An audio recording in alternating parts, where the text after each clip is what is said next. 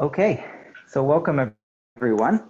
Um, today's going to be the first of two of these units on letterpress.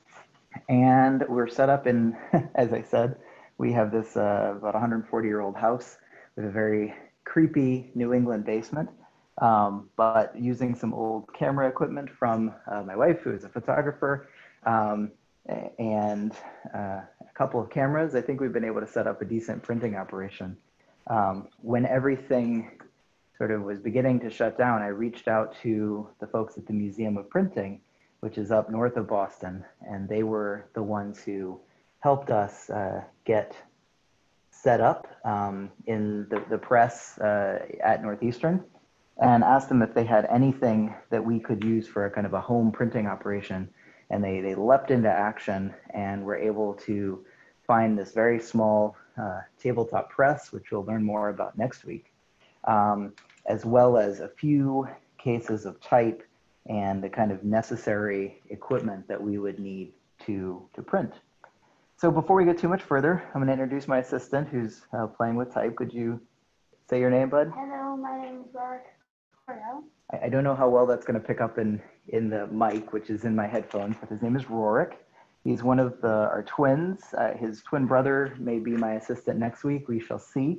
But they've actually been to Huskiana Letterpressing campus many times. They've been there for workshops um, and they know their way around type. I guess I'm, I'm teaching them a practical skill for 100 years ago, something like that. Um, so today, though, I just want to basically introduce you to the process of setting type. So in the print shop, um, the, the jobs would have been pretty uh, divided between the different parts of the operation. You would have had the folks who, you know, the printer who was sort of an overseer of the of the entire operation, um, who at least through the 18th century was also essentially a publisher, would work with uh, authors who wanted to get things printed um, would negotiate, you know, the, the pay for the works that were going to be published and so forth. And then you had the, the compositors, and we'll be thinking mostly about compositors today. The compositors were the folks who actually took the manuscript, the handwritten documents that were going to be printed, and uh, set them in movable type. Um, prepared them essentially for printing.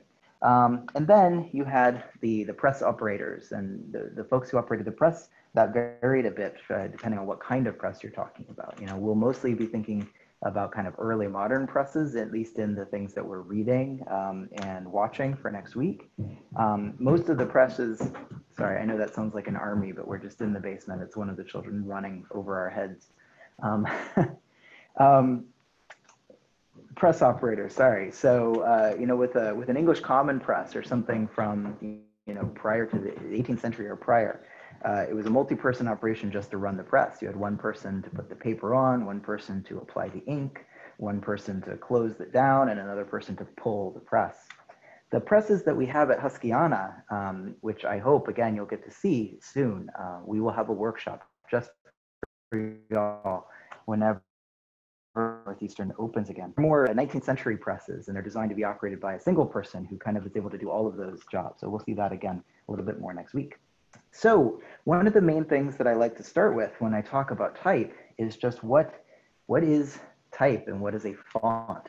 Uh, when I say the word font, people tend to think of a, uh, a menu item. You know, when they're in Google Docs or they're in Word, you pick a different font and you change the style of your letters. But during the letterpress era, the, the font was something considerably more, more weighty in a literal sense. Um, you see these drawers that I have in front of you, and you can see into one of them here in the document camera. Um, each one of these drawers is a single font. And what font means is a combination of two things. It means a combination of the type style, so the way the letters look. And um, actually, I have found this camera refocuses a bit better if I give it a kind of neutral background to work from. You can see that W there. It's a combination of the style of the letter and the size of the letter. So every size and style that you want to have, you need to have a separate drawer. So Rorik here is sitting in front of a drawer of 14 point Old English. So this is a, a font that is designed to look more like the fonts of, say, Gutenberg or something like that. It has that Old English style, although it's not precisely the same. It's a kind of 20th century interpretation of those older fonts. Um, whereas I am sitting in front of an 18 point sans serif. I don't know if I actually know the precise um, typeface. Uh, that's actually one thing about using these historical cases is that sometimes you know precisely what uh, typeface you're working with and sometimes you don't. But I do know that it's 18 point. And within a type case, every letter has a place and it's very important that they all stay together. So the case that I'm working with is what's called a California job case. And this is the layout of the California job case. I've included a link to a description of the California case in your assignment. Um, and this is a, a, 19th century case design as well. Um, prior to the 19th century, there were, there were many other uh, cases and there were conventions, regional conventions, language conventions around case layout. In general, the case layouts are designed to optimize um, finding type for the language. So you'll notice that, you know, the largest um, uh, sort uh, in, the, in an English case is going to be the lowercase e because there are more lowercase e's in most English documents than anything else. And printers well knew this. They knew they needed to use more e's to make those jobs. Um, the layout of your computer keyboard that you use today uh, bears a relationship to this. When they were trying to develop the layout of the typewriter in the 19th century, they turned to printers' cases to try and figure out where to put the keys because printers had a lot of knowledge about what letters, uh, you know, appeared most frequently in documents. Now, if we looked at a case for a different language, if we looked at a case for Spanish or uh, uh, Russian or any other language, we would find a very different sort of layout. And, and depending on the number of characters in the language, and all sorts of other things. Um, for, for various reasons, movable type didn't come to uh, uh, some languages until much later. In some languages, it's very difficult to translate the connected forms of the letters into something like movable type, and movable type wasn't a practical way to, to operate. Um, and then some languages just have so many characters. I've seen a, a compositor's case for a, a Korean at one point, and it's this amazing like sort of circular desk that you move around in because there are so many more character types that need to be used. Okay, so um, the California case, as I said, was a 19th century innovation, and it really um, combined what had previously been two cases. So prior to this, the, the minuscule letters, the small letters, would have been in the lower case, and the capitals would have been in the uppercase. And this is where those terms come from, upper and lower case. And when the compositor was sitting at their, their uh, composing table, there would have been the lowercase. They sat at an angle. You can see one of these in the press if you ever get to visit us there. Um, and then the uppercase is sort of angled behind it. And you'll, you can see some illustrations of that in the materials that I sent you today. Okay, so the process of making a text in the letterpress context involves putting together a lot of material objects. And I'm going to show you a composed text to give you a sense of what that means. Give this a second to, there we go.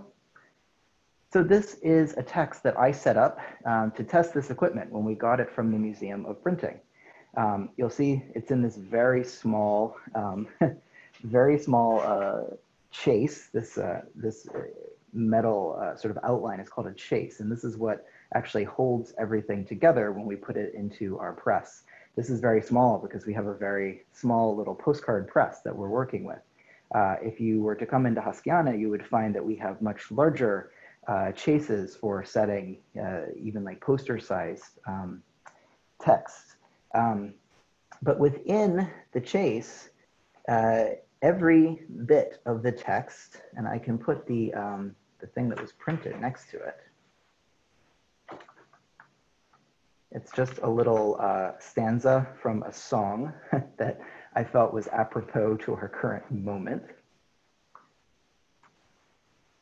So if I want to make a text like this in the letterpress context, everything is material. So this line that you see, This is actually a little piece of metal that is the same height as the type that makes this pattern when it prints. You can see all the letters. You can see that they're a mirror image because if I'm going to make a print, uh, I want the print to be right reading, which means that the type needs to be the mirror of that. But you can see that even space in the letterpress context is a material object. These little uh, bits here, these are called quoins. No, sorry, these are not called quoins. These are called quads, Q-U-A-D. Um, and quads actually make the space. And you have quads of different sizes, depending on how much space you need to add. I know the lighting is getting a little, a little strange. Hang on, I might be able to help that. We'll see that makes things too bright. We have different, we have quads that make the space between letters. And you also will see those long, long strips. This is called leading. If you've ever used a, uh, graphic design app, you might actually still have a setting for the leading. And the leading controls the space in between lines. If you want more space between lines, you have to add more leading. Now that word leading uh, comes from the fact that these are essentially strips of a lead alloy and type itself is made of an alloy of lead, antimony, and tin. So this always, you know, sort of raises people's concerns um, when they hear lead. Um, fortunately, type lead is not the same sort of uh, lead flakes or something that you would have found in uh, paint, something that easily sort of becomes aerosol and that can be inhaled. Um, if you have a piece of type that you can see is visibly oxidizing, then it does become a concern. You have to you have to take care of it. You have to discard it. Um, but for the most part, the the uh, alloy, the lead, antimony, and tin alloy is quite stable and not too dangerous. Um, you do want to wash your hands prior to setting type and after setting type. And as I say in the print shop, you don't want to uh, suck on the type. I wouldn't use it as a lollipop, right? but um, you know, if you're not working in a print shop, uh, you know, full time, uh, it's unlikely to be uh, too too hazardous to you. Some folks that do this, you know, long term will wear gloves and things like that. Um, I do have gloves in the print shop, or I did, but they are obviously uh, there are better places for gloves to go these days, so I don't have any here. Um, so you've got the leading separating the lines, you've got the quads separating the letter. Each individual letter is referred to as a sort, and actually not even just the letter. Every character is referred to as a sort. Um, it, you may have seen in the readings that this is where that phrase out of sorts comes from, because if you're in the middle of making a, a job, a project, and all of a sudden you run out of a letter that you need, um, it's quite distressing. You, you, feel a bit out of sorts. Um, and this has happened to us. We've been setting projects in the press where we didn't, you know, thoroughly count them as we probably should have before, didn't count the letter before we started and we got toward the end and realized oh my gosh we are going to run out of lowercase e's. And in fact in one case I, I was working with a student group to print a poster um, and we just went back and forth and rewrote the text in order to save about five e's so that we could finish the text. We just found synonyms that had fewer e's in them. Yeah. i did tell you about that before but um, okay everything has to be kept nice and square too. You'll notice that, you know, all my lines need to end sort of at the same place. And the reason for that is that you everything has to be held together. You'll notice that what I'm holding here, this chase, this is loose type. There's not a backing on this or anything like that. What's holding it in place is pressure. So a good job of composing is going to have everything nice and even so that I can then put it in the chase and I use furniture. That's these pieces of wood here. There's also metal furniture, although what I have is wood. And these, these are my quoins. I used that word accidentally a few minutes ago, but my quoins, which get tightened just a little bit and apply pressure in both directions. And that pressure keeps everything nice and together. I might actually have a little bit too much pressure here. You can see a little bit of a bend in the, uh, in the bottom. I wouldn't really want that for a professional project. Some of my more experienced letterpress folks are probably howling as they see that in this video, if they see that in this video. Okay, um, those are the basics. So what I want to show you uh, in the last couple minutes and what Rorik is going to help me with is how I would set a line of type. And in the assignment for today, I'm going to ask you to go to this sort of simulator and, and simulate setting a line of type. It will not be, oh, you all right? Yep, that's a sneeze. All right. It will not be as satisfying as, you know, getting to do it yourself and seeing it printed, but again, we will save that for the future. So here at Rorik, I've given you a compositor stick. I will put this to the side and I'm going to show you what this process looks like. Oh, you know, while I'm getting set up, I can show you, some folks might be wondering about images. How do images get printed in the letterpress context? And the answer to that is with what are called woodcuts. Now that's got stylized text and an image in it. And these are just a few that I was able to get from the museum. Try and get the the lighting good on these so you can see them.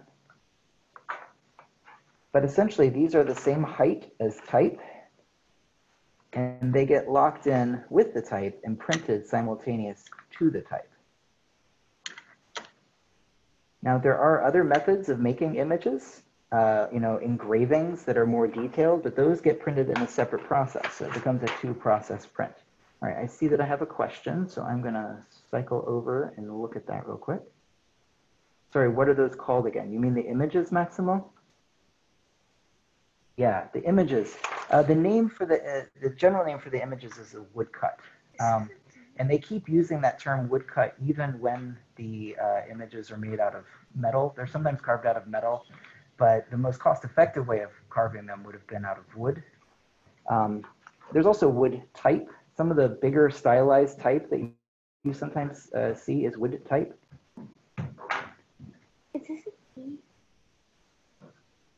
That is a D. Yeah, looks like a D. Sorry, you've got the old English type, so it looks kind of funny, doesn't it? All right. Great. All right. So, da, da, da, let me close that. I, you know, one thing I didn't mention here, I mean, this is a historical technology, but one thing we have seen lately is a kind of resurgence of interest in letterpress. Um, and it's come along with the resurgence of interest in a lot of other kind of hand uh, crafts. Um, the most typical what places that you see letterpress these days are in like wedding announcements, uh, birth announcements, uh, documents that are produced to mark, you know, occasions. But there are also plenty of people who make letterpress for decorative reasons, for business cards, um, and, and, other things like that. Um, there are quite a few letterpress shops around the Boston, Providence area um, that are sort of regular businesses. I mean, it's not a um, the dominant way that the books are published. There are still artist books made in this way, um, but it has sort of found its its niche, and that's again thinking about the way that media works. Um, it's rarely the case that you know some new medium emerges and then the prior medium entirely disappears. What tends to happen is that the media ecosystem shifts, um, and it, we find sort of new uh, places for different media. And, and letterpress is in that, that sort of situation right now. It's actually had a real resurgence in the last decade or so. So when a compositor was going to set type, they would start with the composing stick. The composing stick looks like this. It's adjustable. And the first thing I'm going to figure out is how wide my text block is going to be. The text block is going to determine, that's the sort of length of the line, essentially. And I might pick the length of the line based on the document. If I'm printing a book with two columns, I, I, might know precisely how wide the columns of that book need to be. Or I might determine the width based on the, the text itself. Maybe I'm printing poetry and I pick the longest line of the poem and I choose to use that as my line length. Um, in this case, we're gonna stick with one line length. We're here, piece of lead, you didn't put any lead in you always start with lead. You remember how I said that everything has to be square. We have to be able to exert pressure on it. If I just start putting loose type in here, then when I try and pull it out, all that type is just going to fall over. I need a buttress for it. I need a piece of leading that will help hold it in place. So I always start with a piece of leading. And then I start to set the type. And I want to look closely at the type to show you what will help me set it. So let's say I was going to set the name of our letterpress studio, Huskiana. I'm going to want to start with an uppercase H, right? On the type, you'll see that there's a little, that little indentation right there. That's called the nick. Now, uh, people sometimes think that that like attaches to something or it helps lock the type in. It's not for that. It's really just to tell me where the bottom of the sort is. Because just like when you're typing, you don't have to look at your keyboard. Uh, a very skilled compositor would not have spent a lot of time looking at, at their hands as they were pulling uh, type out of the type case. They would have been able to do it by feel, and they would have used that nick to tell them where the bottom of the type is. When I set my type, I set it upside down and essentially uh, backward. so this is a confusing part. But I want the nick to be facing upward. And, all right. As I set these, I'm going to want to be able to see a nice line of nicks across the type as I set. So I'm going to start with that H. It's a little awkward doing this while trying to sort of hold it where folks can see, but I'm going to do my best. Do the next closest to the. And then I would get a lower case U. Yeah, I apologize for my, Is this the right way? yep, all your nicks are lined up. Perfect, bud. That's exactly right. And then I'm gonna get an S. I apologize. We'll move around a little bit in kind of a weird way. In fact, I will maybe pull away for a second while I do this, and then I will put it back under once I have it set. I I don't quite have the case entirely memorized. I do have to look over occasionally, but I've been doing it now for like teaching purposes that I am beginning to learn the case. All right, so I've gotten to the end of Huskiana, H-U-S-K-I-A-N-A, if you can read that in, in its form here. Um, one thing to keep in mind, another phrase that comes from the print shop, because you're working in reverse image, if you look at that letter right there, your brain wants to say that that is a Q, but we're in mirror. This is a P. Mind your P's and Q's. Um, and you need to do that because even though you know you're working in mirror image, uh, your brain will tell you, oh, that's a, that's a Q. And you'll put it in the wrong place either when you're putting the type into the stick or when you're putting the type back into the case. Um, inevitably, when we, when we print a proof in the shop, uh, we will run a proof and we will see that there are some backwards B's and D's, which look like each other but in mirror, or P's and Q's. All right, so I've come to the end of my word. And again, what I need is a space. I can't just sort of move over and start putting writing letterpress because if I do that, when I try and exert pressure to hold all this together, that space will collapse. So I have to have an object. I put a quad in here. And you'll notice the quad is not as tall as the type. That is so when the printer comes and makes contact, um, it will not print that space, but the space will help hold everything together. I'm sorry, I know that gets a little weird. It's trying to focus on two things at once. I'll put that down. All right, so now if I, uh, sorry, put that down real quick so it can focus. Brilliant. You can see what that looks like. You'll notice that it's nice and square at the bottom. You see that nice line of nicks there? That tells me that everything is oriented correctly. I haven't turned anything over the wrong way. And now I'm going to write letterpress. And then I will show you how we sort of end a line. And that is where we will leave things for today. And you, I will turn you over to the activity that I have put on the Canvas site.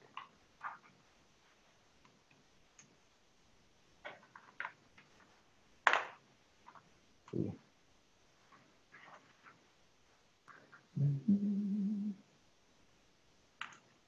letter. All right, now I need to do a P. So again, I want to make sure it looks like a Q to my eye. That tells me that it's really a P. P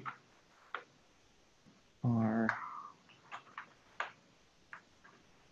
E and then two S's.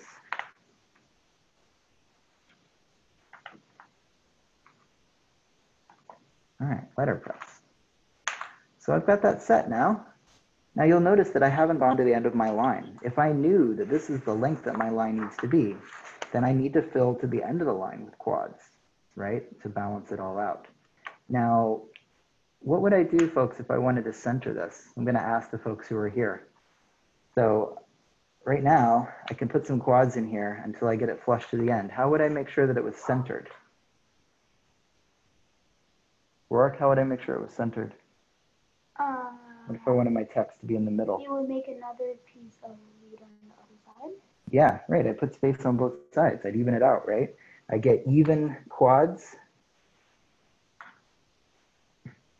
I would get even quads, and I would build it out on either side with even spacing in order to make my centered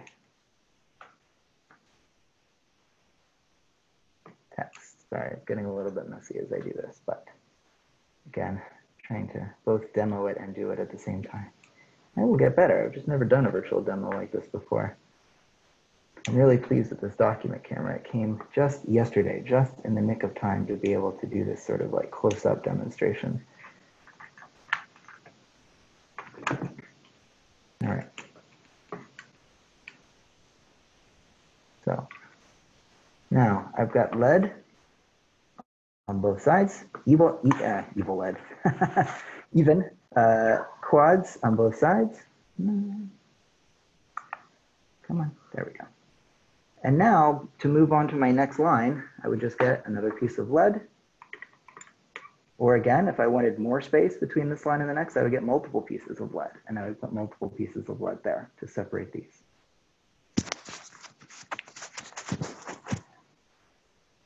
That is the basics of composing. And I'm going to keep doing that essentially until I build up the full text block that I want to print.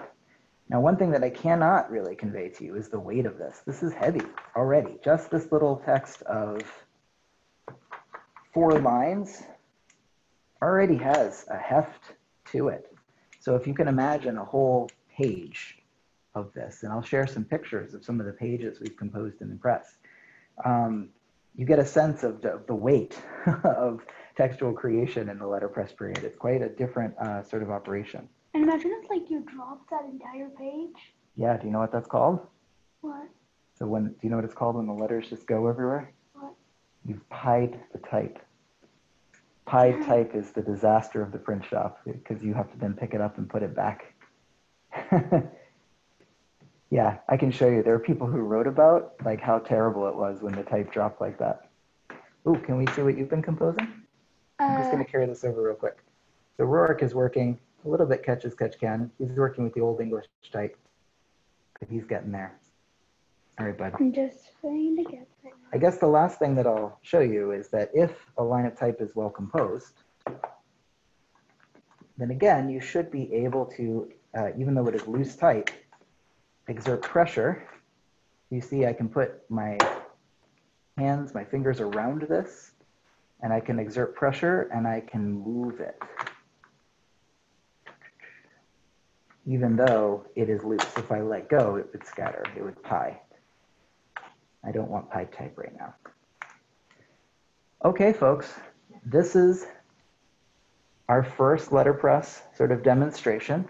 My idea is that next week we will actually show you um, how to print. We'll use the little Kelsey press that we have up here and we'll actually make some prints to show you what that process looks like. But in the meantime, we've got I've got an activity that I posted for you on the, the course canvas. And if you have any questions, I'll, I'll actually, any questions before we dismiss from the folks who are here with us live. Uh, obviously, if you're watching this afterwards, if you're doing this asynchronously, then you can send me questions or pop, pop, them into the course chat or something like that. But do we have any questions from those live before I, before I shut things off?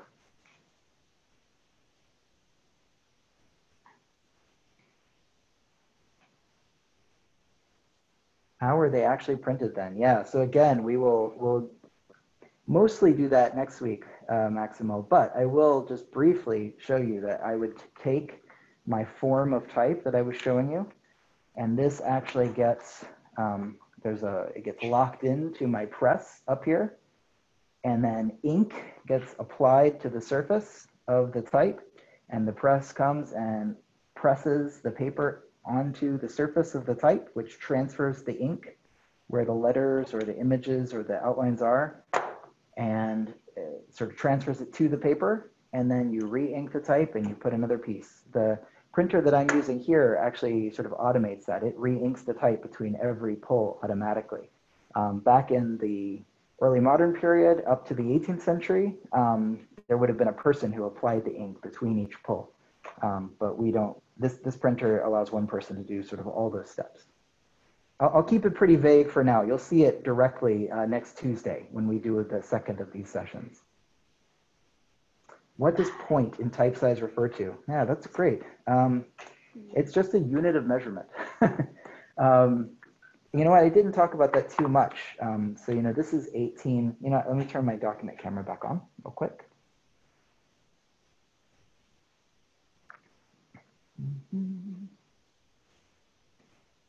Right.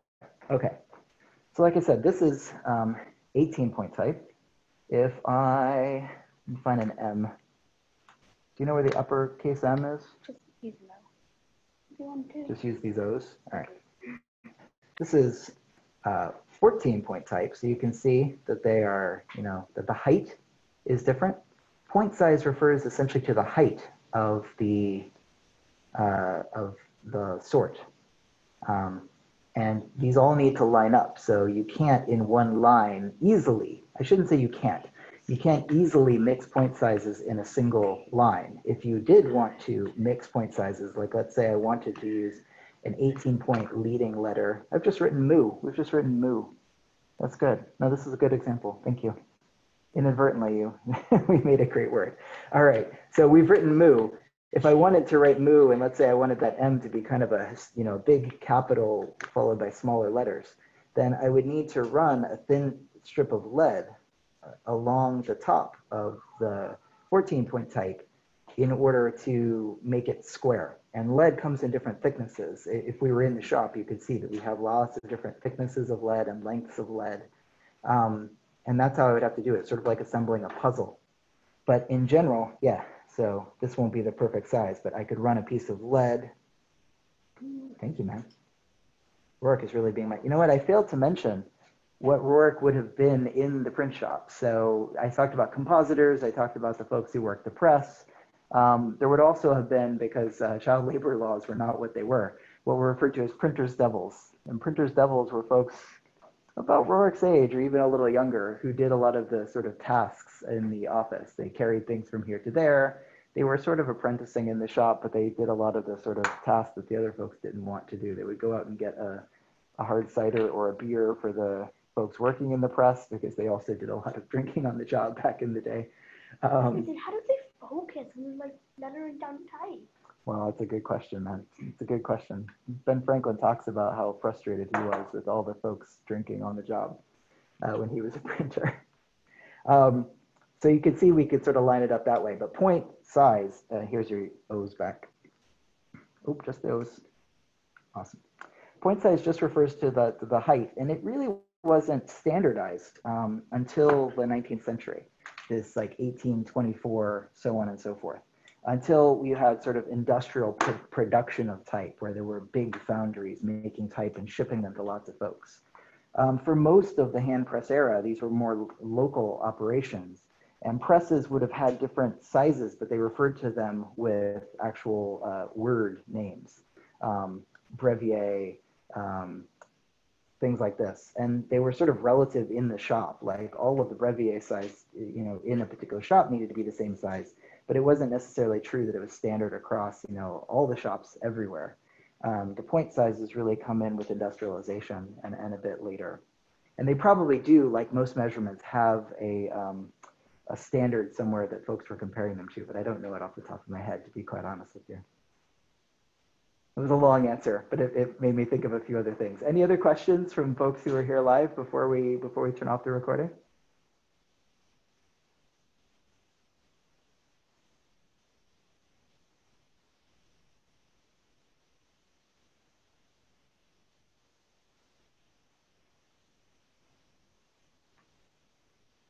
Oh, you know what? I kept saying that was Maximo. That was Rayan. Sorry, I'm trying to negotiate between a few different screens here. Rayan asked a question about point size. Thank you, Rayan. That's a great question. All right, I'm not seeing any other questions from the folks live, but you've got an activity to do and you can feel free to shoot me questions uh, in other contexts. Thank you very much, Rourke. Appreciate your help, sir. all right, and I will talk to you all, uh, well, I'll talk to you all in person next week. All right, bye.